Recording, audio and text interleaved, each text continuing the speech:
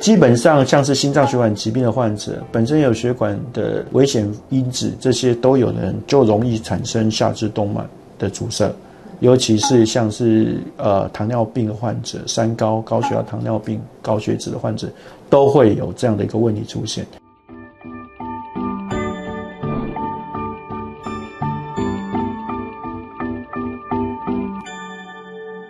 我们有一个病叫做间歇性跛行，好，就是说你在走路的当下，走一走，你会觉得脚会酸、会麻、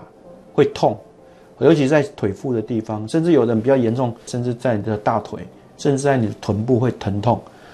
那这一种走一走之后会发生，之后休息就会改善。这一种就很典型叫间歇性跛行，好，就是下推下肢动脉的症主要的症状。如果你越来越严重，是连休息的时候都会不舒服。那一开始有一些是脚的温度会比较冰冷，循环会比较差，所以你摸你的脚趾的时候，你去按你的脚趾的指甲甲床都是比较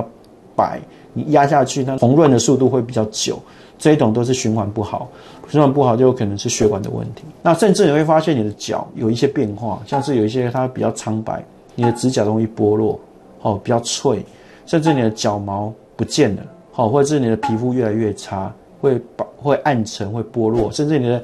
末梢的地方会发干发紫，甚至严重到发黑黑掉，脚趾头黑掉，这都已经是非常严重，都已经坏死了。